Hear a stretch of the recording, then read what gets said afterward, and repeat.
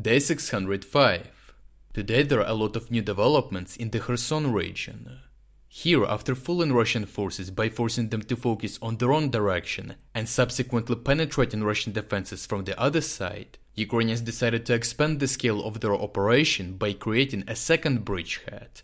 And this operation turned out to be even more successful than the previous one. But first of all, before conducting a landing operation on Krynky, a lot of fights took place around the first Ukrainian bridgehead on the eastern bank of the river. After losing two villages, Russian forces received an order to eliminate the bridgehead at all costs and started attacking Poima and Pishchanivka. Ukrainian fighters were on the lookout for the moving forces and were destroying them on the approach. One of the videos shows the destruction of a truck fully loaded with ammunition for the Russian assault units. Another video shows how Ukrainian drone operators hunted down a car that was pulling a mortar system closer to Poima.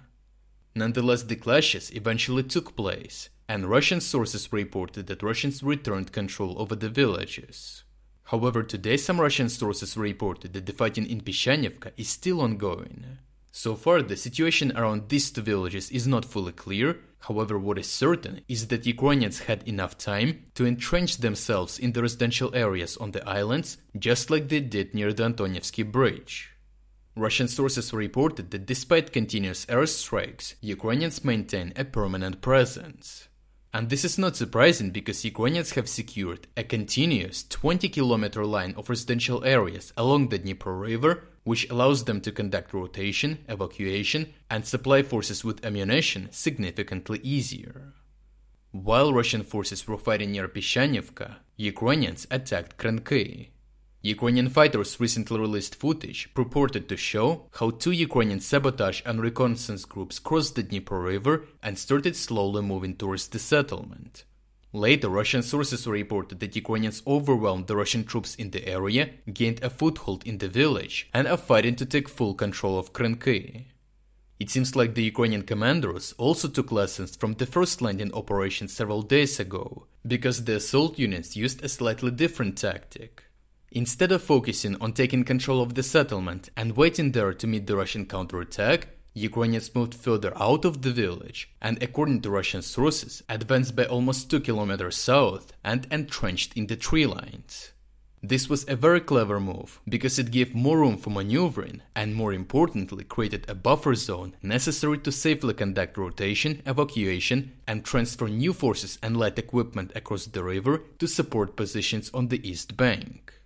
When Russian forces conducted a counterattack, they struggled to advance deeper into the settlement because of the Ukrainian positions in the tree lines.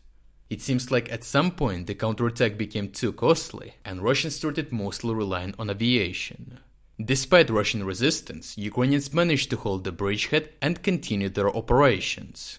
The Institute for the Study of War assessed the situation and concluded that Ukrainian forces have been able to adequately supply and reinforce the groups conducting these operations despite increased Russian aviation activity along the Dnieper River.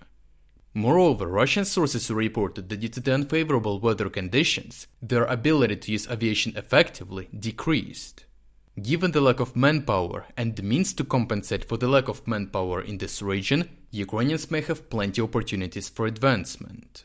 Even though many Russian sources have been raising the alarm about the imminent massive landing operation and a sudden counteroffensive in the Kherson region, some military analysts claim that a milder objective of Ukrainian forces here may be to force Russians to move here as many troops as possible thereby undermining their defensive operation near Tokmak or offensive operation near Avdiivka.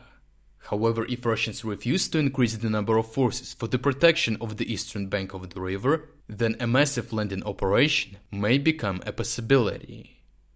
If you're against the invasion of Ukraine and you want to support the work that I am doing, consider making a purchase in the online store UA Supporter we have finally added one of the most requested products by you, polo t-shirts. You can find a wide variety of embroidered Ukrainian military symbols and also other designs.